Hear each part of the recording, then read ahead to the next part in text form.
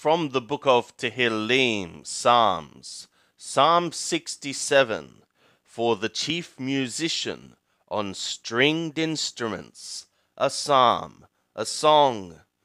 God be merciful to us and bless us and cause his face to shine upon us. Selah.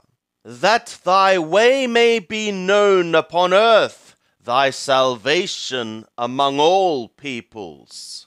Let the peoples praise thee, O God. Let all the peoples praise thee.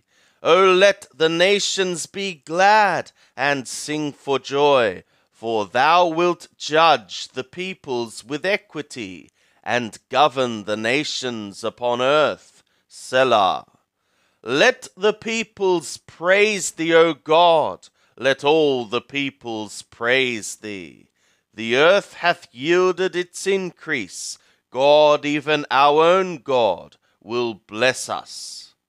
God will bless us, and all the ends of the earth shall fear him.